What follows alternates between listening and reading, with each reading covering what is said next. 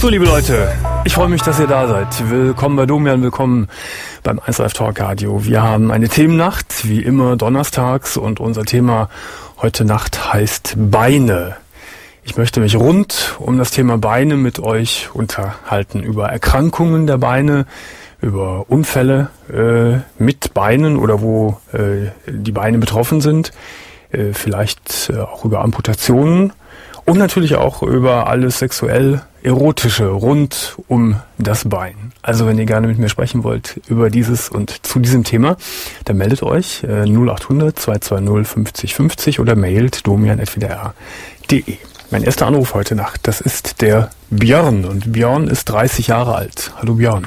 Ja, hallo. Hallo Björn. Thema Beine. Ja, Warum rufst du an? Folgendes. Ich hatte letztes Jahr ein ziemlich traumatisches Erlebnis. Ich habe einen Unfall gehabt. Und zwar, ähm, um es kurz zu erklären, bin ich von der Straßenbahn überfahren worden. Oh, Dabei ist mein rechtes Bein und mein linker Fuß zur Hälfte fast abgetrennt worden. Es musste dann amputiert werden. Die Ärzte haben noch sechs Stunden lang operiert, versucht, das Bein zu retten, aber es hat nicht geklappt. also das Bein ist bis zur Hälfte verloren gegangen? Also das Bein ist fast komplett weg, das rechte Komplett Bein. weg. Und der Fuß, äh, der linke Fuß zur Hälfte. Wie hat sich dieser Unfall ereignet und ergeben? Ja, das war wirklich einfach nur ein blöder Unfall. Ich muss dazu sagen, ich war ein bisschen angetrunken. Ich war jetzt nicht sturzbesoffen, aber ein bisschen angetrunken. Ich bin dann aus der Straßenbahn ausgestiegen und bin dann gestolpert und habe mich versucht, an der Straßenbahn festzuhalten. Und genau in dem Moment ist sie losgefahren und ich bin dann in die Lücke zwischen Anhänger und Triebwagen Hm. gefallen und vom Anhänger überrollt worden. Das heißt, der Fahrer hat das wahrscheinlich gar nicht gemerkt, oder? Nee, der hat vorher noch in den Rückspiegel geguckt, wie ich aus äh, irgendwelchen Berichten weiß. Der hat mich nicht gesehen. Ah. Und die Bahn ist dann dunkel. und die Bahn ist dann weitergefahren. Ja, das hat dann irgendjemand, ein Passant hat das mitgekriegt und den Fahrer darauf aufmerksam gemacht und Was ist aber denn? von da an weiß ich auch schon nichts mehr. Ich weiß nur noch, dass ich ausgestiegen bin und gestolpert bin und von da an weiß ich dann fünf Tage lang erstmal Ach nichts so, mehr. du kannst Das dich wurde mir alles erzählt dann. An die Details dann nicht mehr erinnern. Nee. Ich wollte dich gerade fragen, was das, was ist das für ein Gefühl in der Sekunde, wenn eine Bahn über über das Bein fährt? Das weißt du nicht mehr. Nee, also ich weiß nur noch, wie gesagt, dass ich ausgestiegen bin und wohl irgendwie gestolpert bin. Mhm. Von da an weiß ich fünf Tage lang nichts mehr. Ich bin dann auf der Intensivstation wach geworden. Mhm. Zum Glück waren meine Eltern da, als ich so zu mir kam. Das hat mich ein bisschen getröstet, aber ja, Da war die Amputation schon vollzogen genau, worden. schon ne? passiert.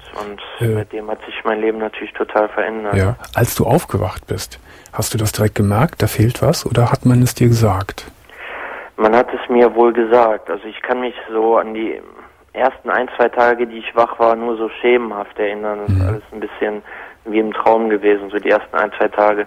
Ehe man so zu sich Aber kommt. ich, ja, aber ich war unter starkem Medikamenteneinfluss, deswegen war mir das noch relativ egal in dem Moment. Aber als dann die Medikamente langsam runtergesetzt wurden, ja, da fingen dann die Phantomschmerzen an und die ganzen Probleme.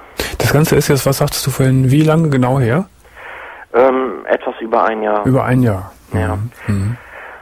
Die Sache ist auch die, ich habe Prothesen, ich habe also ich habe über ein halbes Jahr im Krankenhaus verbracht, dann zwei Monate in der Reha und ich habe dann Prothesen bekommen und am Anfang habe ich relativ schnell gute Fortschritte gemacht. Da hatte ich noch die Illusion, ich kann vielleicht bald wieder relativ gut, vielleicht auch ohne ohne Krücken laufen, aber jetzt bin ich schon so lange am Üben und so lange am Laufen und es ist äußerst anstrengend und mittlerweile habe ich die Illusion nicht mehr, dass ich wieder vernünftig laufen kann, sondern ich denke, Also ich werde die beiden Krücken auf jeden Fall noch über Jahre brauchen und kann dann auch je nach Tagesform nicht ähm, allzu viel laufen. ja. Du sagst, der eine, der eine Fuß ist zur Hälfte weg. Ja, also Äh. praktisch die Zehen vorne alle. Ach so. Mhm.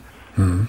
die Was, Ferse ist noch da, das hilft mir halt ein bisschen beim Gehen, dass das linke Bein Ja. noch da ist, aber es ist trotzdem äußerst schwer. sind denn jetzt nach einem Jahr die, diese Phantomschmerzen also äh, auch noch da, dass du das Gefühl hast, da, da ist das Bein noch und das Bein schmerzt, obwohl es gar nicht mehr da ist?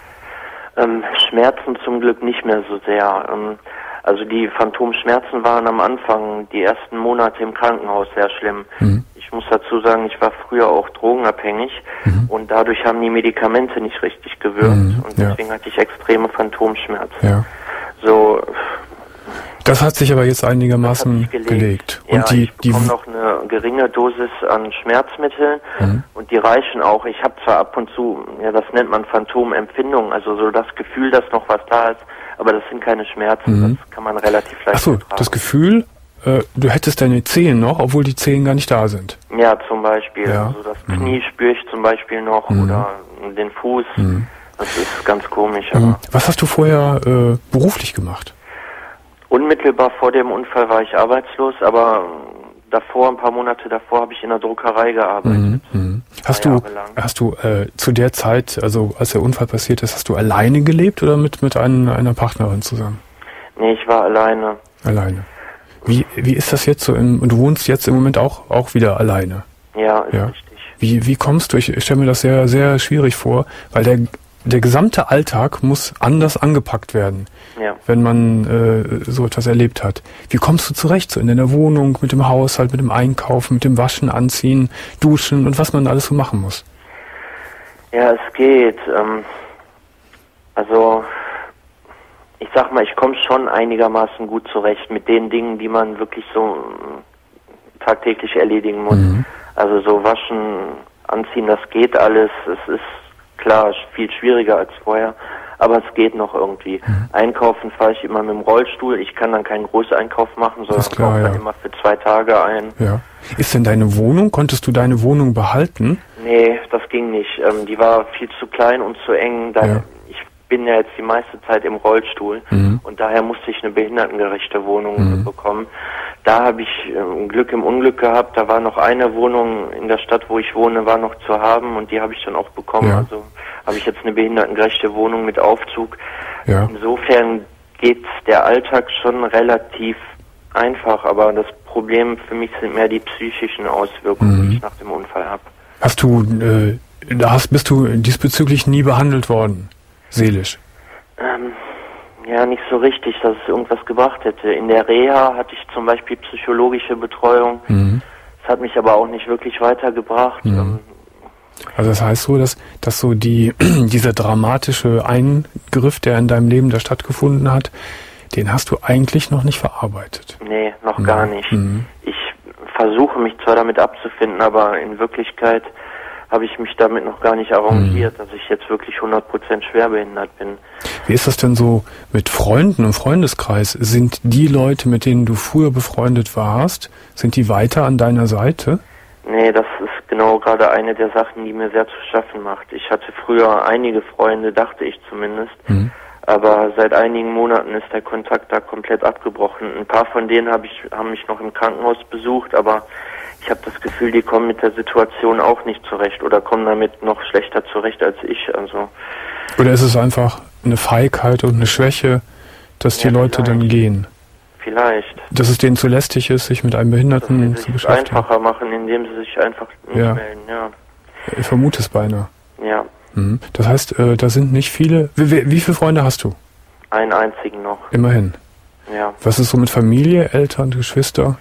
Ähm, ist auch sehr schwierig. Ähm, die meisten kommen da auch nicht so mit klar. Die haben zwar viele Versprechungen gemacht äh, nach dem Unfall, wenn mhm. sie mich angerufen haben, aber viel ist da auch nicht gekommen. Das Einzige, wo ich froh drüber bin, bin sind meine Eltern. Die unterstützen mich wirklich super. Ah ja. Also da ja. kann ich mich nicht beschweren. Also immerhin, da sind die, das sind die Eltern. Ja. Und da ist ein Freund. Ein Freund. Das ja. ist ja schon das sind mal. praktisch drei, vier Leute, so die ich noch habe. Was schon viel ist, ne? Was schon viel ist. Ja, es ist besser als ganz alleine zu ja, sein, ja, schon. Ja, Aber diese Leute haben halt nicht oft Zeit und ich habe schon das Gefühl, mhm. super einsam mittlerweile. Was machst du den ganzen Tag über? Tja, tja, es ist meistens bin ich sehr depressiv und habe hab überhaupt nichts Lust. Ich mhm. schlafe ziemlich viel, also mein Tag-Nacht-Rhythmus ist auch total durcheinander gekommen. Mhm. Also manchmal kann ich erst morgens einschlafen und schlaf, schlaf dann bis Nachmittag. Mhm. Also das ist manchmal die Hölle. Auf die Dauer ist das nicht, ist das natürlich ja. nicht gut. Du könntest doch eigentlich, wenn es dir körperlich wieder einigermaßen vielleicht noch besser geht, mhm. äh, könntest du doch irgendwie eine Umschulung machen oder noch auf eine Schule gehen, weil du könntest sitzende Tätigkeiten doch äh, ja. machen, ne? Ja, da habe ich mich auch schon ein bisschen erkundigt. Da gibt es so eine Art ähm, berufliche Reha, die ich machen könnte. Ja da würde ich mich auch für interessieren, aber das Problem ist, dass erstmal meine psychischen Probleme mhm. ähm, mhm. irgendwie angegangen werden müssen, dass ich also, den Unfall verarbeiten muss. Nehme ich jetzt sehr ernst. Du, du sagst es jetzt schon zum dritten Mal. Und das heißt für mich, dass das wirklich für dich ein ganz, ganz gravierendes Problem ist. Solange du deine Psyche nicht im Griff hast, äh, kannst du auch gar nicht so den, den neuen Alltag und das neue Leben anfangen und gestalten. Ja. Das heißt, äh, es ist wirklich ganz dringend zu empfehlen, dass du äh, zu einem Therapeuten, zu einem guten Therapeuten kommst. Ja. Ganz dringend würde ich dir dann auch wirklich raten, Björn. Ja. Weißt du? Ich möchte das auch. Ja. Weißt du, wie man es macht und was man da alles so bedenken muss? Ähm, ich muss dazu sagen, ich war vor meinem Unfall auch schon in ähm, ambulanter psychiatrischer Behandlung. Also mhm. ich habe vorher schon Depressionen gehabt. Mhm. Das hat sich natürlich durch den Unfall noch alles äh, Klar, ja. verändert und noch extremer geworden. Ja. Ähm, ich habe nur das Problem, dass die Psychiaterin, bei der ich damals war, die ist nicht mehr tätig und ich habe mich ein bisschen bemüht, nicht allzu sehr, muss ich zugeben, ein bisschen schon bemüht, noch jemand anders zu finden, aber mhm. ich habe jetzt in meinem Umfeld keinen Psychiater gefunden. Mhm. Wäre natürlich gut, wenn das so ein, wenn das jemand wäre, der Psychiater und Psychotherapeut in einer Person wäre, ja. äh, der dich dann wirklich rundrum gut betreuen könnte. Also ich finde es sehr wichtig und möchte dich wirklich ermutigen, äh, das anzugehen. Vielleicht ist das der Schlüssel für ein neues Leben, äh, dass du dann wirklich auch äh, andere Dinge starten kannst.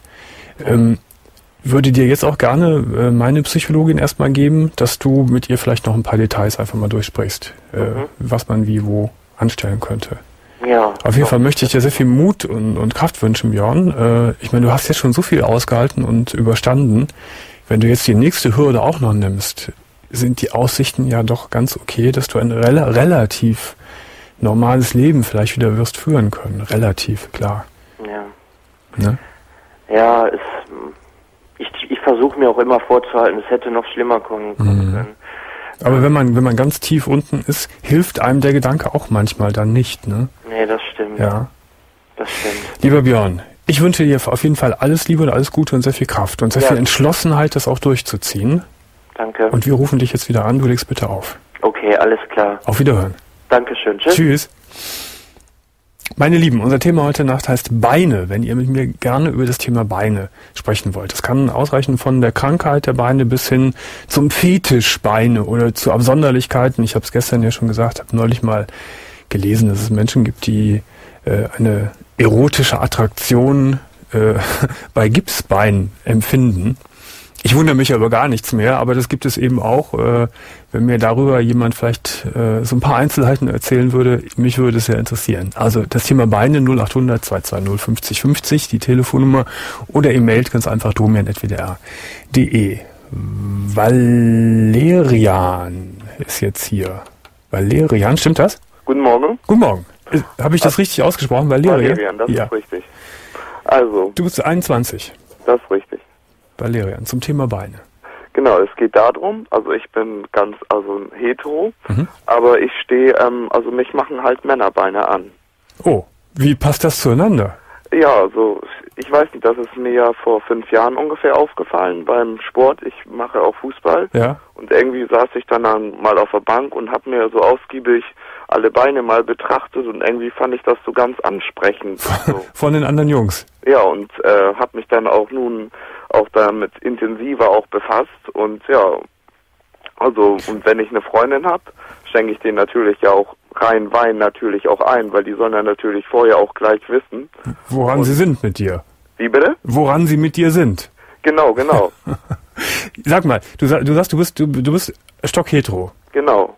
Aber bloß mich machen Männerbeine an. Ja, das, halt, lass mich das fragen. Äh, ist das so ein rein ästhetisches Interesse, dass du denkst, die sind ja ganz schön oder es gibt halt auch schöne Verformungen?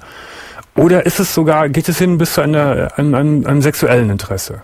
Äh, also, ich, ich finde ich find das einfach schöner, dieses, also, es, die männliche Beine sind einfach, ich finde, trainierter, so ausgeprägter, behaart. Das, ich, ja. Findest du schöner als Frauenbeine? Genau. Definitiv.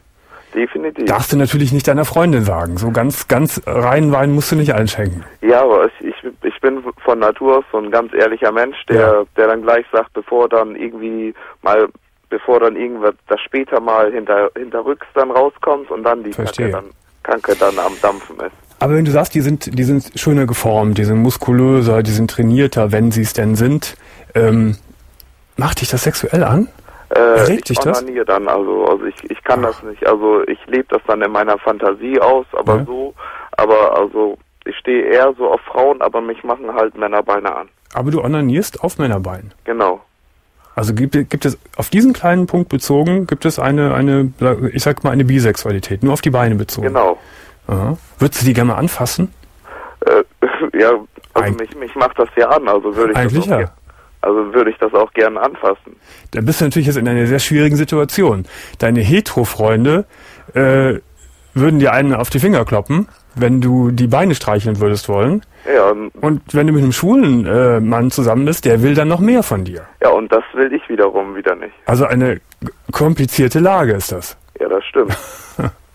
ja gut, also von meinen Freunden weiß das auch wirklich gar keiner her, außer meine beste Freundin. Sie toleriert das auch. Sie, Ja. sagt, sie sagt, wenn du das toll findest, dann, dann mach das ruhig. Ich, ich habe da auch nichts gegen, das ist deine Sache. Ja. Ja, Männern ist das schwier schwierig, schwieriger zu erklären, weil das werden die gar nicht kapieren, wenn du es so erzählst. Darf ich Sie mal ganz kurz grüßen? Die Jungs. Äh, nein, äh, meine beste Freundin. ja, okay. Zwischendurch Äh, mal ganz Von schnell. hier aus Tatjana, schönen Gruß. So, Tatjana. Äh, bezieht sich das rein auf, auf das Bein oder auf, auf die Füße auch? Ähm, nur auf die Beine mit den Waden. Ich, ich, ich finde das einfach ausgeprägter und das Behaarte, also, also nicht auf die Füße, nur auf die Beine. Ja. Äh, also die Beine sollten schon behaart sein, die schönen Ja. Männerbeine. Ja, Ja, die sollten gut muskulös sein. ja, am besten schon. Ja. Gibt es denn, du, du bist Fußballer und Fußballfan, da hast du dir wahrscheinlich alle Beine von unseren berühmten Fußballern schon ausgiebig angeguckt. Ja, also Wel welche machen dich am meisten an? Wie bitte? Welche Beine von welchem berühmten Fußballer machen dich am meisten an? Ich, ich, ich finde sowas wie Michael Ballack oder ähm, Miroslav Klose, sowas zum Beispiel. Ja, ja. Ja, also da ist ja wahrscheinlich dann schon ein Drang, das irgendwann mal auszuleben, ne? Ja, das, das stimmt, aber irgendwie, das ist zurzeit nur, also das spielt sich nur erstmal in meinen Gedanken Mhm. halt ab. Könnte es denn sein, äh, dass äh, da noch ein bisschen mehr schlummert, aber du das gar nicht so äh, nach oben kommen lässt? Also ich, das weiß ich selber gar nicht. Weiß man nicht. Müsste man ausprobieren. Das würde ich auch sagen. Auf jeden Fall klare Ansage sind die Beine. Hast du denn auch in deiner Bude so Fotos von Männernbeinen hängen? Also wenn, dann gucke ich mir das übers Internet, Computer dann an. Kannst du jetzt zu Hause nicht hängen haben. Wenn du Besuch Ja, kriegst, genau, dann und dann, sind die. dann lade ich mir die Freunde ein und dann fragen sie, was hast du denn hier die ganzen Männerbeine? Da musst du, aber- du, du spielst selbst Fußball, sagst du, ne? ja, genau. Äh, Ist, da musst du aber auch aufpassen, dass die das nicht so merken, wenn du denen auf die Beine starrst. Ja, also ich, ich versuche das so gut wie möglich zu unterdrücken. Ja. Denn dann hast du schnell einen Ruf weg. Ja, das, weiß ich und deswegen, also da möchte ich ja auch nicht, also dass die das unbedingt wissen. Und Müssen die Beine lang sein, ähm, Hauptsache schön trainiert und behaart. schön trainiert und behaart. Bist du mit deinen Beinen zufrieden? Äh, ja, Ja? Die sind also schön trainiert und behaart. äh, nicht so ganz ausgeprägt trainiert, aber auch behaart. Ja. Äh, kannst du dich erinnern, äh, wie alt du warst, als du zum aller, allerersten Mal das so wahrgenommen hast, dass du das schön findest? Ich glaube, das müsste mit 15 oder 16 gewesen Ja. Und dann wischt man das noch irgendwie weg und das ist einem gar nicht so bewusst. Ne? Ja, also ich, ich habe das erst, ich habe, das fing ja an, da hatte ich mir das ja alles betrachtet und so und dann hatte ich mich dann intensiver damit mal auseinandergesetzt. ähm, bist du im Moment in einer Beziehung? Äh, also ich war in einer Beziehung. Ich Ja. hatte ihr Wein, ich hatte meiner Freundin rein Wein, also Ex-Freundin rein Wein Ja. eingeschenkt und sie hat das natürlich in falschen Hals bekommen und dachte, ich wäre schwul und ja, Ich dachte jetzt, die hätte, die hätte großherzig gesagt, ja, okay, mach mal oder empfinde, wie du willst, aber sie hat es in den falschen Hals reingekriegt. genau. Äh, wie lange dauerte die Beziehung? Ja gut, also wir waren zwei Wochen zusammen. Achso, war da nicht so. Und ich hatte mir irgendwann, weil ich bin ja so ein, so ein Mensch, das, das frisst mich schnell was auf. Also es muss am besten schnell, am liebsten aus mir raus. Und Ja, ja, und dann hatte ich gesagt, hier, Schatz, ich wollte mir was ges ja, und dann steh war auch auf Männerbeine. Ja, und dann war natürlich die Kacke am Dampfen. Sie hat es dir nicht geglaubt, dass es nur die Beine sind. Genau, sie, sie hat sich schon mehr daraus gesponnen, dass äh, ich noch was mit den Männern dann habe und Ja. so weiter. Und hat dich wahrscheinlich auch gelöchert. Hast du schon mal, willst du denn mal? Und Ja, und ja, ich, ich habe das versucht zu erklären, aber das ging partout nicht in ihren Kopf Mhm. rein. Äh, war das die einzige Frau, die deshalb dich verlassen hat? Äh, ich hatte davor noch eine. Und der hast du es auch gesagt und die ist auch gegangen? Äh, ja, aber der hatte ich das erst später gesagt. Ach so. Also, Ja, jetzt hast du schlechte Erfahrungen gemacht. Wie, wie, wie machst du es bei der nächsten Frau? ja, also, also das, also sollte mir, also gut, also sie sollte auch irgendwann, also vielleicht nicht gleich am Anfang damit raus, aber vielleicht irgendwann mal später damit. Mensch, die Frauen sollen sich nicht so anstellen. Die Frauen gucken auch auf Frauenbeine und äh, finden die manchmal auch erotisch und toll und äh, ich finde es toll, dass du so offen mit umgehst und das ist halt ein, eine, spe eine spezielle Neigung von dir, die wahrscheinlich äußerst wenig verbreitet ist. Aber dann ist es so, wie es ist. Ja, Ich finde es in Ordnung. ja also ich, ich, ich stehe da ja auch zu, Ja. deswegen sch- schenke ich ja meiner Freundin, also meinen Freundinnen dann ja auch reinen Wein ja eigentlich. Also, ich wünsche dir äh, mal einen Typ, vielleicht ergibt sich das ja irgendwie, vielleicht gibt es ja mal äh, so eine Konstellation, dass du einen Typ triffst, ähm, bei dem du das einfach mal ausleben kannst, Ja. ohne dass da große Verwicklungen entstehen.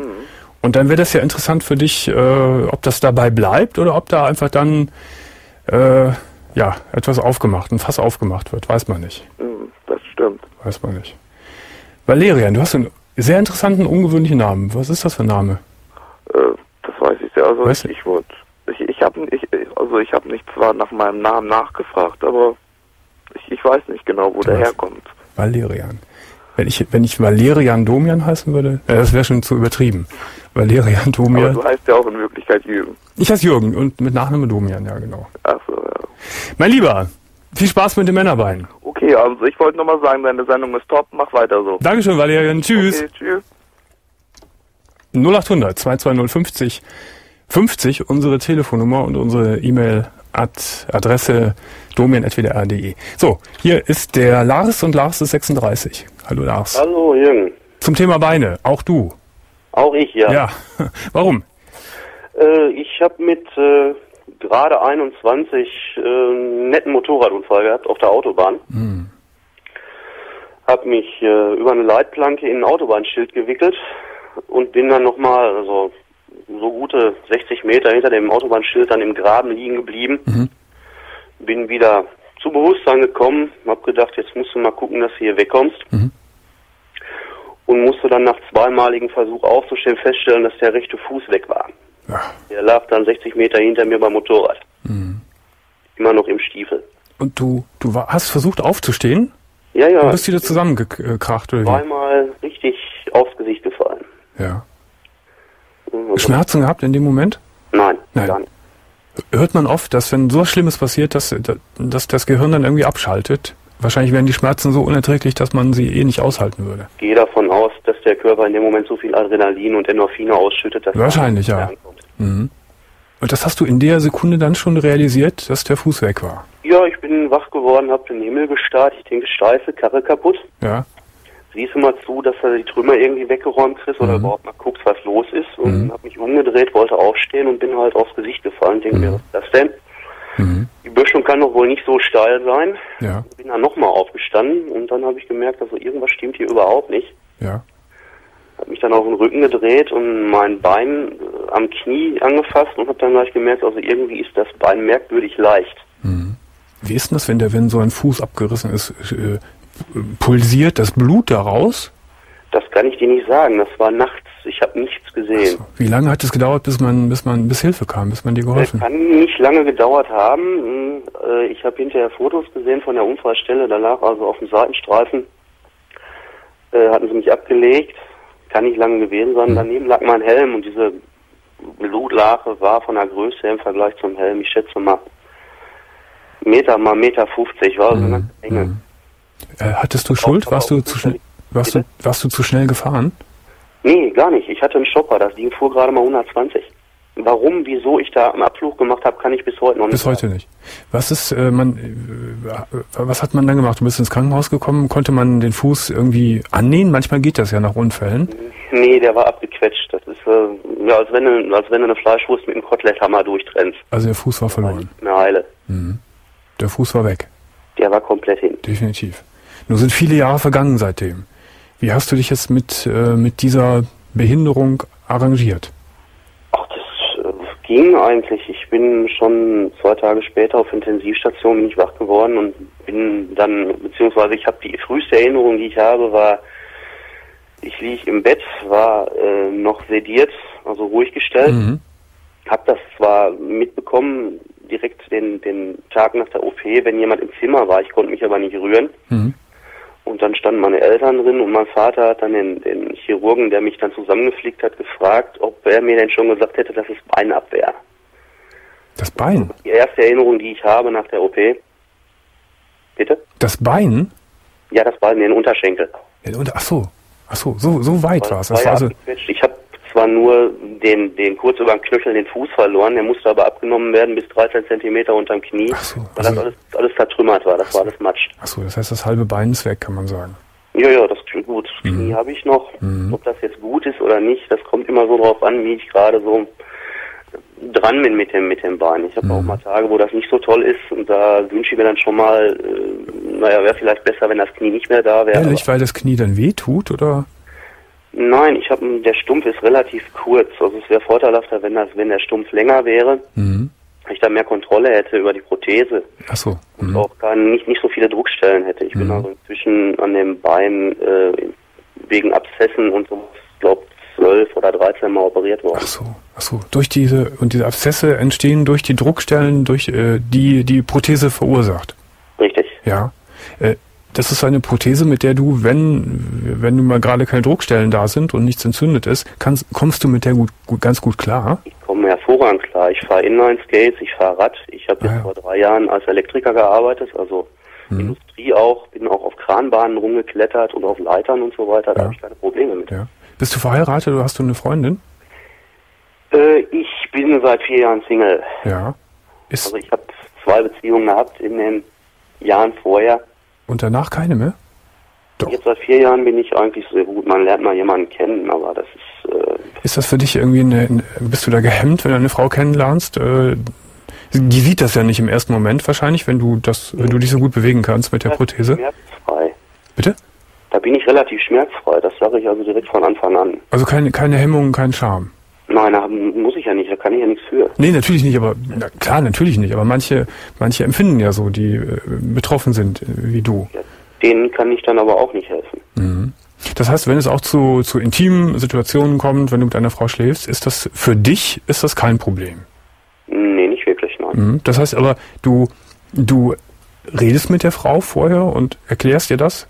Oder wie machst du das? Wenn ich die also insofern schon so weit kennengelernt habe, dass ich also da wirklich Sympathien für hege und mir einbilde, da könnte was draus werden, sage ich also von vornherein, du weißt aber, dass mir der Unterschenkel fehlt. Mhm. Also nicht, dass es eine böse Überraschung gibt. Wie reagieren die Frauen darauf?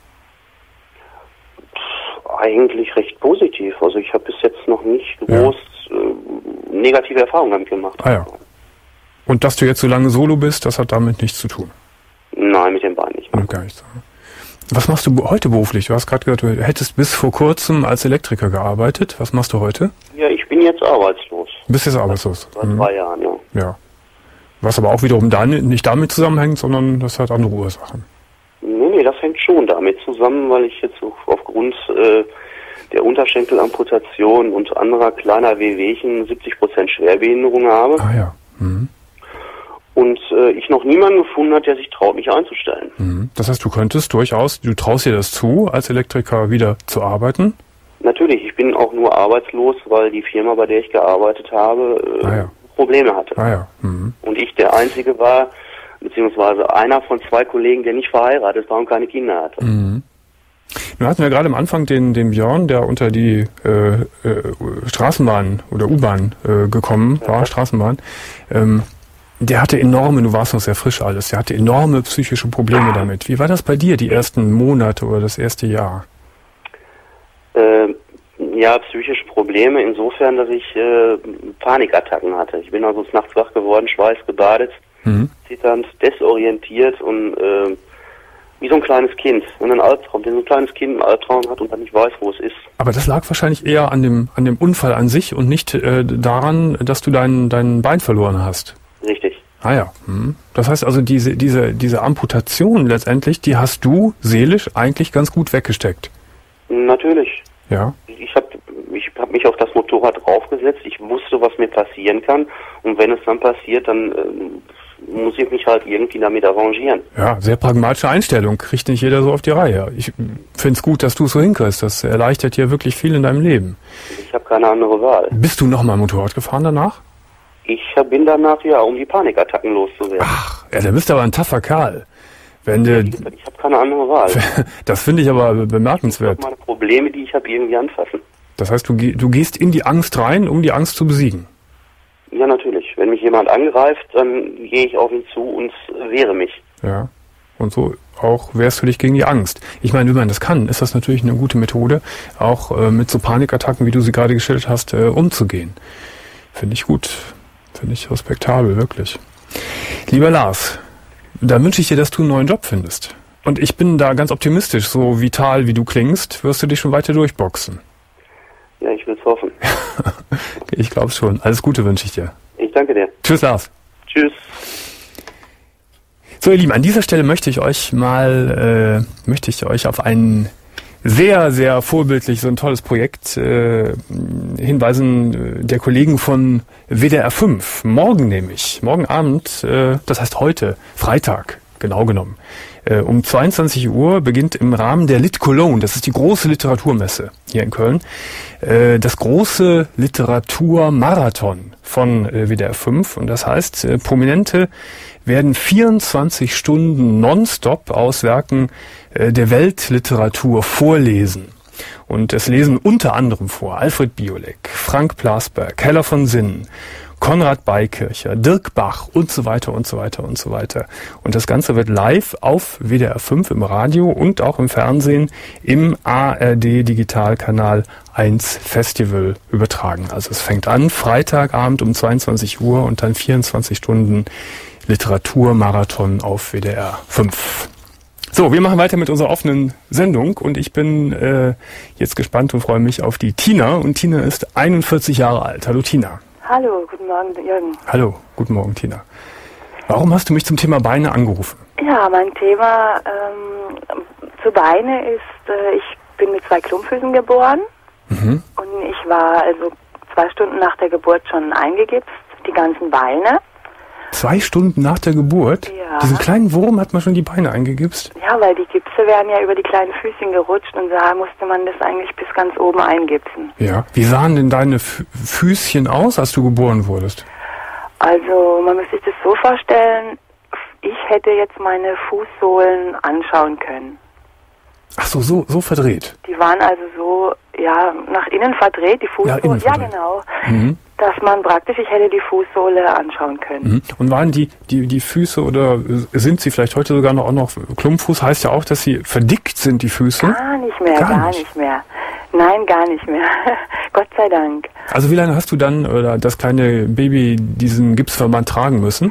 Ja, man hat halt damals wahrscheinlich versucht, äh, diese weichen Füßchen irgendwie zu begradigen durch den Gips, Mhm. Ich musste dann mit zwei, mit vier, mit sechs und mit acht Jahren operiert werden Mhm. an beiden Beinen. Das war dann also achtmal bis zum achten Lebensjahr und dann war mal Pause. Was ja auch schlimm ist für so ein Kind. Das war sehr schlimm, Ja. ja. Ich hatte Wie- da Schienen und, ähm, Und lange Krankenhausaufenthalte wahrscheinlich. ja, Mhm. und Kinder können auch grausam sein. Mhm. Was ist hier passiert mit Kindern? Na, also man wurde halt teilweise auch gehänselt Mhm. wegen den Schienen und so. Und ja, das war schon manchmal recht heftig. Ja. Ja, Und wie, Und- wie war es dann, als du, als du älter wurdest? also ich irgendwie selbst, meine aller, allergrößte Stärke war mein Papa. Mhm. Das muss ich, wenn ich heute zurückdenke, ist, der hat mein ganzes Leben geprägt, der hat mich so stark gemacht, der hat immer gesagt, ich bin was Besonderes. Mhm. Und alle, die lachen, die sind dumm. Mhm. Und ich weiß nicht, es ist lustig, aber es hat mir wirklich sehr, sehr geholfen. Mhm. Und ich habe dann praktisch die Jugendzeit, als ich dann 18 wurde, wurde ich nochmal dem Professor vorgestellt. Mhm. Und dann hieß es also nochmal OP oder nicht. Mhm. Und das war dann so diese Zeit mit höheren Schuhen. Ich hatte dann äh, oft Stöckelschuhe an, Mhm. weil die Achillessehne war verkürzt Mhm. durch diese ganzen OPs. Das war also einen rebellischen Klumpfuß hatte ich. Der hat sich nach den OPs immer wieder zurückgezogen. Mhm. Und ähm, dann hat der Arzt gesagt, wie sieht es aus mit OP? Und ich war ja immerhin 18, ich wollte das dann nicht mehr. Dann habe ich gesagt, nein, ich ziehe meine hohen Schuhe an und fertig. Und ich habe also auch alles gemacht. Ich habe, äh, ich war in Disco und ich war überall und ich hatte auch sehr viele Freunde schon als Kind. Mhm. Ja, und das hatte ich dann belassen und dann habe ich aber mit 26 einen sehr schweren Autounfall gehabt. Ach, also, lass mich nochmal fragen. Bis 26 äh, hatte sich das aufgrund der vielen Operationen im Kindesalter, hatte sich das relativ gut reguliert. Kann man das sagen?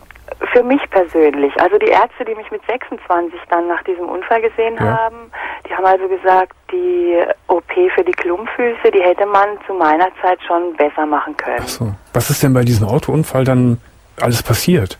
Das war auf einer Bundesstraße, da hat ein anderer überholt und hat mich angeblich nicht gesehen bis zum Schluss. Mhm. Und ich habe Gott sei Dank ein sehr stabiles Auto gehabt. Mhm. Und äh, da ist also das Bodenblech von meinem Auto ist 30 Zentimeter reingekommen und hat den linken Fuß wieder zertrümmert. Mhm. Und den rechten hatte ich das Gelenk durchgebrochen. Also gerade die empfindlichsten Stellen, die du Ja. hast in deinem Körper, sind dann wieder verletzt worden. Ja, aber wenn ich das heute positiv sehe, dann habe ich dadurch ja dann erst die super OP bekommen, Ach so.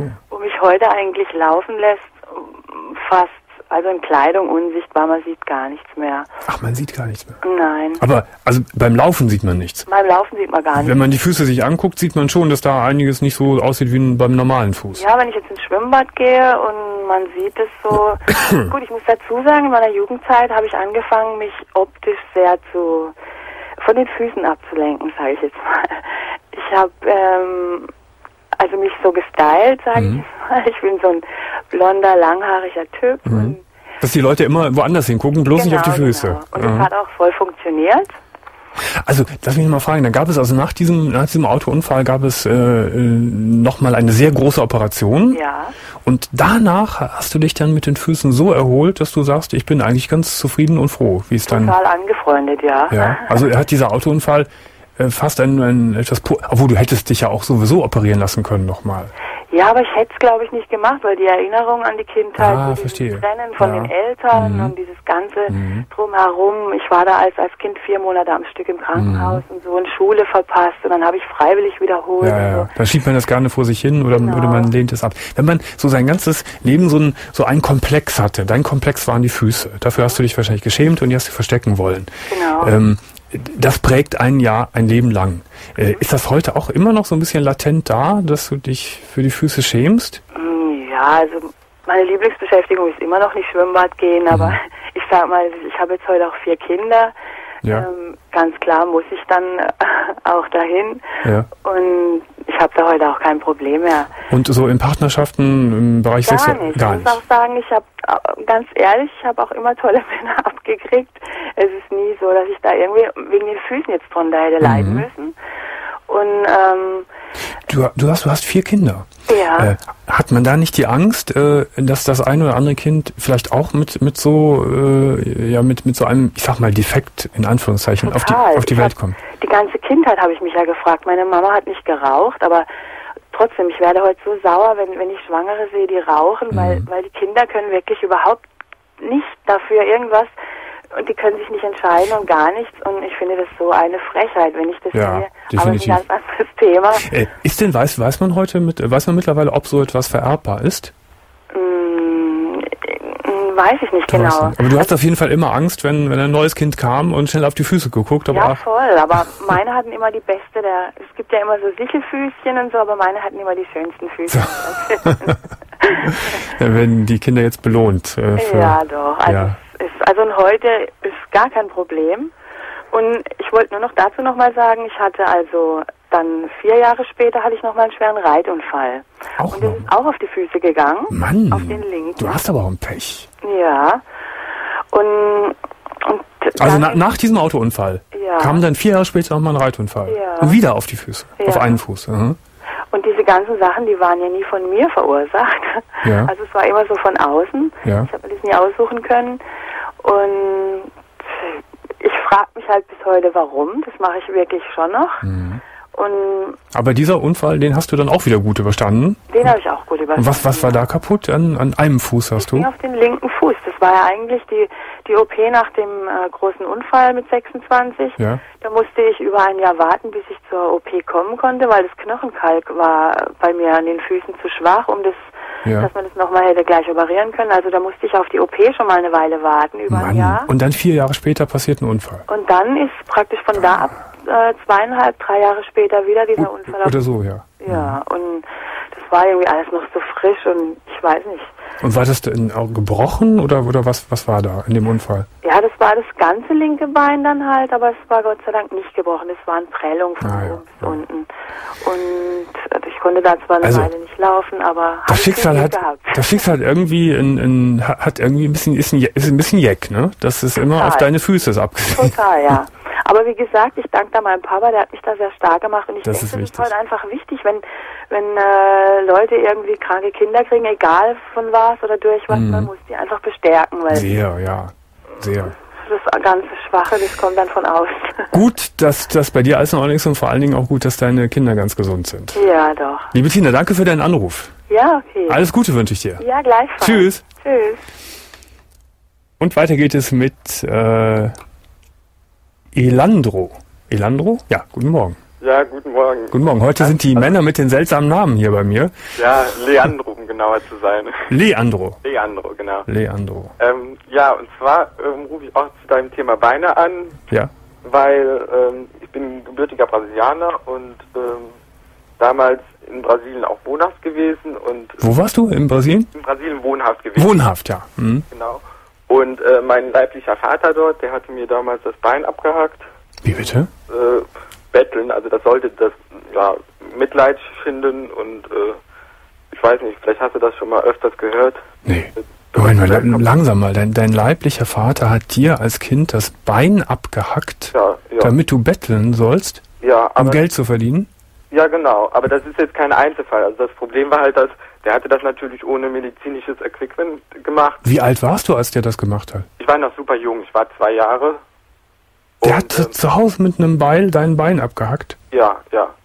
Und ähm, ich meine, okay, wie gesagt, der hatte kein medizinisches Equipment und ähm, das, man kann sich vorstellen, wie sowas natürlich dann da aussieht. Und Mhm.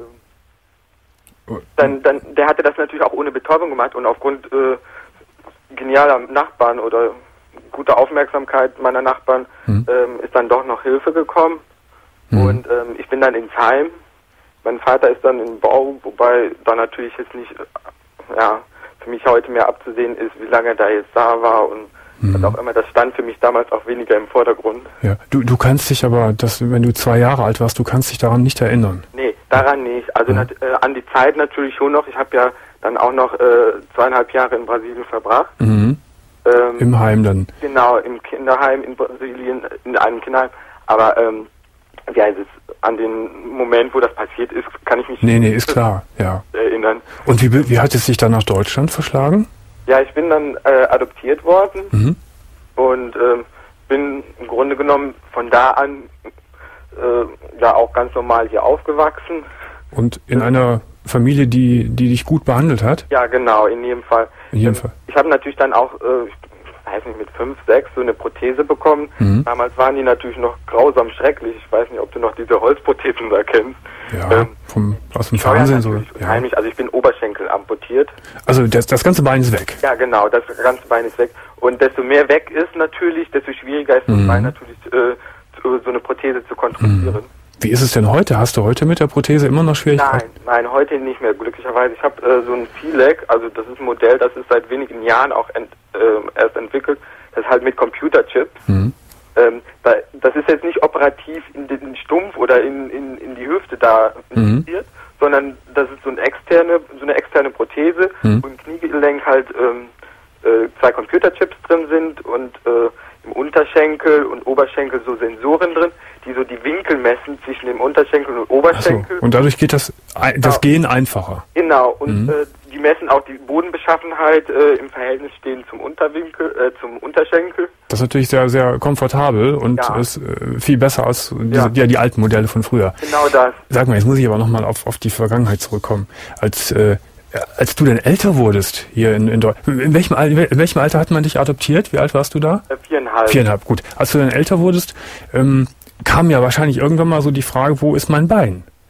Ja, das schon. Wie, wie hat man dir, wie hat man dir das erklärt als Kind? Also meine Mutter, die war da schon immer recht offen, ähm, zumal es natürlich auch keinen Sinn gemacht hätte, äh, da jetzt mir irgendwas zu erzählen und äh, weil früher oder später hätte sie es ja so oder so mir mitteilen müssen. Also hat man dir als Kind schon diese brutale Aktion erzählt? Ja, wobei, äh, ich meine, äh, zum Beispiel die Verhältnisse jetzt in, in, in dem Heim danach, äh, Hm. waren natürlich auch nicht unbedingt die schönsten. Mhm. Also das, ein Kinderheim in Brasilien ist äh, Glaube ich. in keinster Weise vergleichbar mit Mhm. dem Kinderheim hier, das, hier das, das Paradies. Ne? Aber de- dein leiblicher Vater, äh, das waren ganz arme Leute vermutlich. ja, ja, natürlich. Ähm, dennoch ist, ist er dafür dann belangt worden und ins Gefängnis gekommen, wie du es gerade Ja, gesagt genau. hast. Mhm. Ähm, es ist für mich natürlich, äh, ich habe es auch nicht weiter verfolgt, äh, ob er da äh, die ganze Zeit eingebüßt hat. ja. Du hast nie mal irgendwie so versucht, die Familie zu suchen, die Mutter oder es gibt wahrscheinlich bestimmt noch Geschwister, du weißt gar nicht. Drei ältere Schwestern, äh, die hatte der ähm, auf den Strich geschickt in Brasilien, in Sao Paulo. Aha. Und ähm, ja, das, äh, bei mir, ich bin natürlich jetzt äh, der einzige Junge gewesen, ähm, war das natürlich so jetzt nicht möglich und ähm, oder sah er keine Möglichkeit, wie auch immer. Hm. Und ähm, hatte mir dann halt zum Schinden das Bein abgehackt. Ähm, ich muss zugeben, zwei wichtige Punkte sind. Das eine ist, ähm, dass dass ich meinem Vater wirklich auch nicht böse darüber bin, meinem leiblichen Vater, was viele nie verstehen. Mhm. Äh, auch, also ich erzähle das auch nicht jedem, aber so Freunde oder so die, oder Nahestehende, wenn, wenn ich denen sage, bin ihm nicht böse, die, die gucken mich an als. als Warum ich bist du ihm nicht böse? Ähm, aber ähm, in dem Moment, wo ich da eine e- emotionale Bindung aufbauen würde, wäre das für mich natürlich, wäre das schon zu viel einfach. Mhm. Ne? Äh, ich Achso, du, achso, du, du sagst, allein das Böse sein wäre schon zu viel Emo Emotion für diesen Mann. ja, So meinst du das? ja. Weil Also so nach, nach objektiven Kriterien muss man ihn ja abgrundtief verachten für das, was er getan hat. Ja, wobei auf der anderen Seite, äh, ich, ich habe natürlich jetzt auch nicht mehr davon, dass ich ihn hasse und Mhm. andererseits, äh, es, es ist fa fast schon ein bisschen zynisch, aber äh, das war vielleicht meine Karte in die westliche. Vielleicht, ja, Äh, vielleicht. äh, Nein, ich meine, äh, Leandro, was ich auf jeden Fall gut finde, ist, dass du, du hast ja komplett damit abgeschlossen. Und was würde es dir bringen, wenn du jetzt hier zornig und voller Hass wärst, diesem Mann gegenüber, den du nie kennengelernt hast? Ja. Das würde dein Leben jetzt ja auch zerstören. Ja, das stimmt. Insofern ist deine Einstellung, finde ich, auch richtig. Äh, Auch. Also ich muss zugeben, äh, so, so gänzlich abgeschlossen damit habe ich nicht. Ich glaube auch nicht, dass man das tun kann. mhm. Ähm, also ich hatte damals zum Beispiel mit äh, in jungen Jahren mit 13 schon schwerste Depressionen Mhm. äh, und ähm, äh, fast schon bis zum Endstadion und äh, Was heißt das? das war das? Was heißt das bis zum Ja, Endstadium? also ich wollte mich damals auch umbringen, Ah, ja. 13 und ähm, äh, kannte noch gar, obwohl ich überhaupt nicht die Dimension und die Konsequenz wirklich kannte dessen, ne? Ähm, aber ähm, das war für mich unkontrollierbar und äh, das hat mich natürlich auch äh, in Phasen gestürzt, gestürzt Mhm. äh, die, die, die sich mancher gar nicht vorstellen Ja, kann, ja. wenn man morgens aufsteht und man denkt sich, mein Gott, äh, warum muss ich nur aufstehen? Ja, Warum ja, ja. sterbe ich nicht von jetzt auf gleich? Mhm. Oder, Sag mal, hast du, ähm, du weißt gar nichts, was aus deinen Schwestern geworden ist? Nein, Nein. nein. Also Und- ich hab, äh, hatte zwar zwischenzeitlich die Möglichkeit, auch nochmal äh, rüber zu fliegen, das wäre mir auch ermöglicht worden, Mhm. ähm, aber ich glaube, äh, es, es, es würde mir noch zu schwer fallen. Mhm. Also, ähm, Mhm. Das heißt, du warst noch nie in Brasilien? äh, ich war seitdem nie wieder Seitdem, dort. natürlich, ja. Ähm, Mhm. Es Und ist halt für mich sch- schwer einzuschätzen. Ich bin also eher kalkulativer Typ.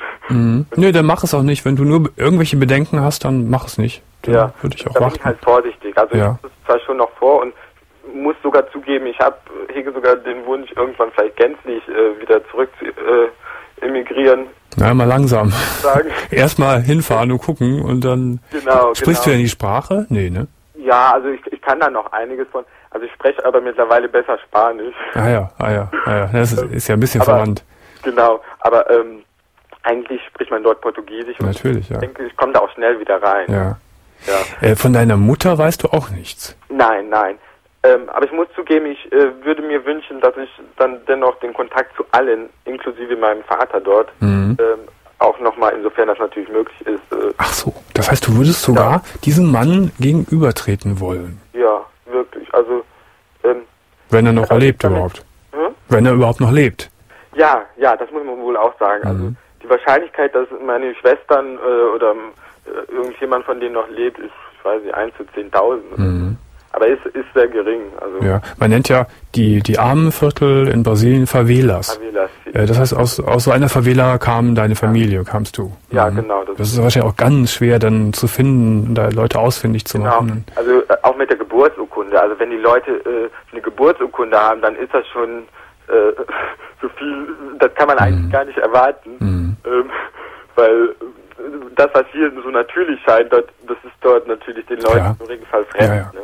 Ja, also mit dieser Reise würde ich an der Stelle auch erst, die würde ich erst antreten, wenn ich hundertprozentig innerlich das Gefühl hätte, das schaffe ich jetzt auch. Ja, Natürlich nicht alleine, am besten mit, mit einem Freund zusammen.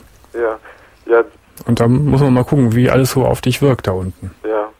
Ja, ich, ich bin gespannt darauf, auch, Ja. muss ich ganz ehrlich sagen. Und äh, für mich ist das in keinster Weise natürlich einzukalkulieren. Mhm. Was machst du heute? Du bist 21, nee 22? 22, ja. Was machst ja, du?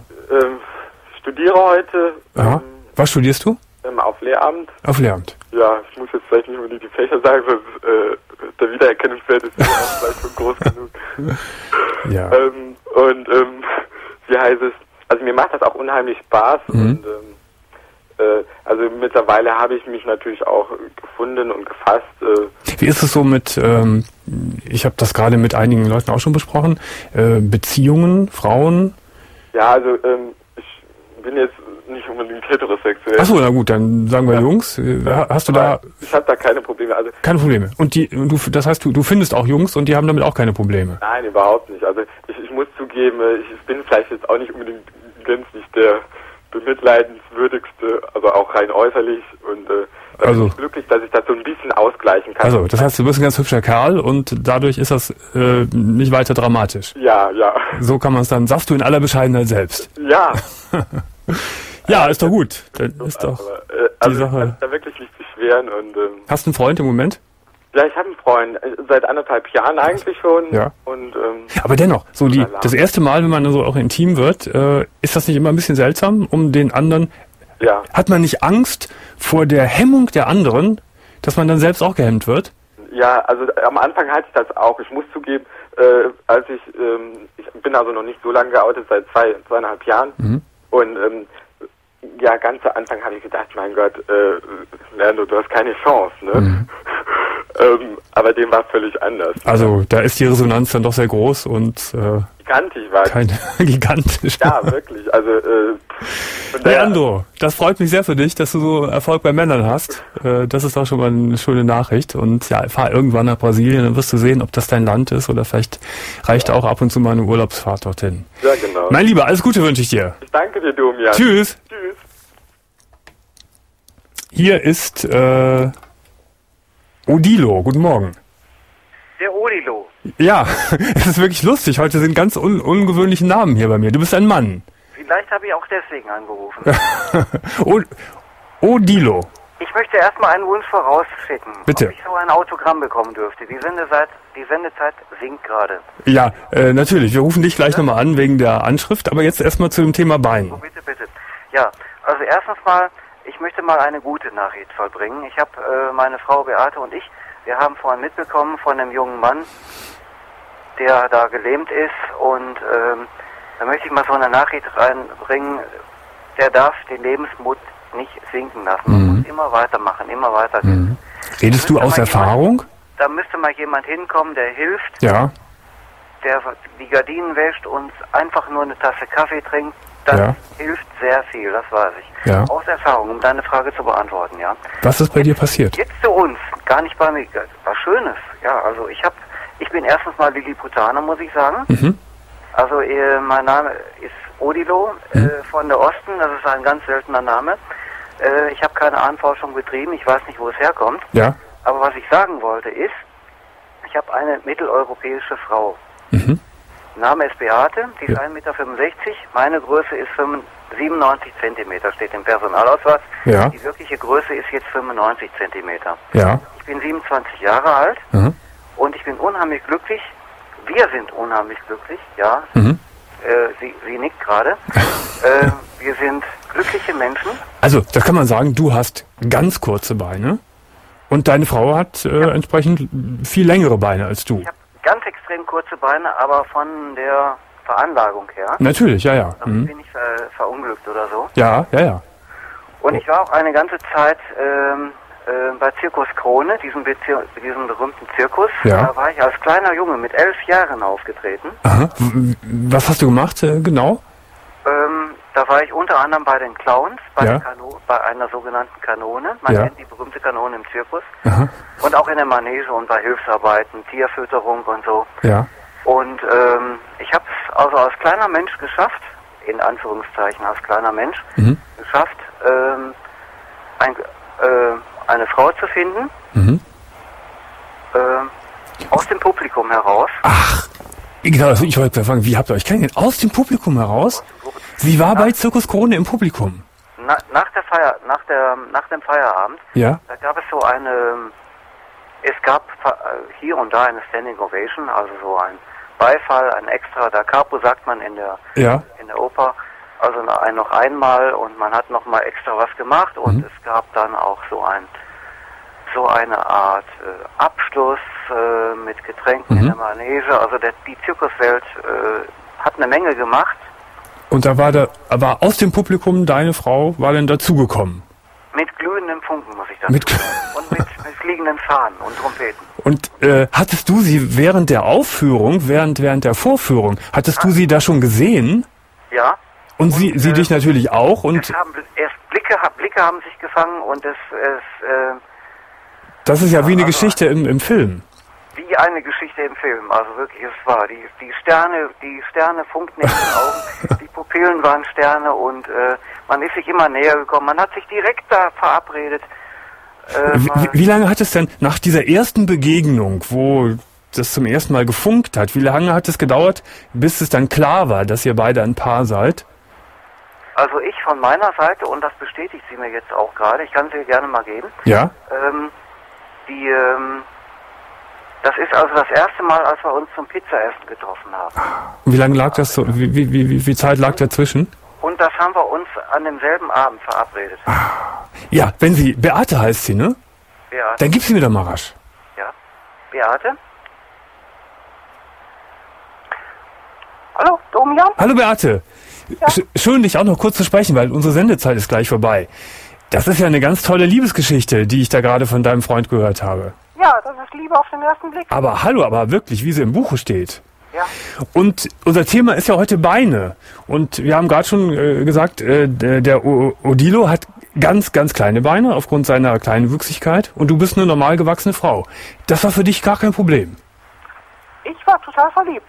Und das war völlig egal, ob er nun kleiner ist oder ob er eben nicht so ist wie du. Das war, war, war dir egal. War süß, ja. Das war süß. äh, arbeitet er denn immer noch im Zirkus im Moment? Nein, Sondern, was macht er? er ist, im Moment, er ist äh, Lehrer. Ah ja. Also er hat noch ähm, Abitur gemacht, nachgemacht, den Ja. Lernkurs Ja. und hat auch Lehramt studiert. Also. Und wie lange ist das jetzt, wie lange seid ihr zusammen? Wir sind hier zusammen mittlerweile hm, Wir müssen ein bisschen rechnen. Na, ungefähr. Äh, ich, ich bin schon mal, also das war, also das sind jetzt, das werden jetzt elf Jahre. Elf Jahre. Elf Jahre. Und du bist jetzt ein richtiger, normaler, Am 1. September, das weiß ich immer noch. und du bist jetzt ein richtig ganz normaler Lehrer. Ich bin jetzt äh, Lehrer Ja. äh, auf Lehramt, beziehungsweise ich werde jetzt stundenweise in verschiedenen Schulen beschäftigt. Wie ist denn das so? Wie, äh, wie alt sind deine Schüler? Also ich habe äh, bis Sekundarstufe 2, das Ja. heißt, ich habe die 10. Klasse und Ja. die 11. Klasse und die 12. in Vorbereitung Wie reagieren die Schüler auf einen Mann mit, mit äh, am Gymnasium. ja? Wie, wie reagieren die Schüler auf dich? Die erste Stunde ist ähm, Äh, Immer schwierig, sicher. lustig, Ja. Aber Wenn- danach wird man akzeptiert, weil man bringt ja auch ein Wissen rüber und man hat das ja auch. Ja. Lieber Odilo, die Sendung ist vorbei. Wir rufen dich gleich nochmal an wegen der Anschrift. Ich habe mich sehr gefreut, mit euch beiden gesprochen zu haben und es ist wirklich eine tolle Geschichte. Ich gönne euch euer Glück wirklich und es soll äh, Ja, auf, e Domian, auf toll, ewig toll, halten. Toll, du bist ein ganz toller Mensch, mach weiter so. Dankeschön. Alles Gute. Tschüss. Alles Gute, auch dir. Dankeschön. Und eurem Team. Jo, ich richte aus. Tschüss. In der Technik, Michael Verhöfen. Morgen haben wir eine freie Themennacht. 1 Uhr Radio 1 Live, 1 Uhr wieder Fernsehen und 1 Uhr äh, 1 äh, Festival. Und ab 0 Uhr könnt ihr anrufen unter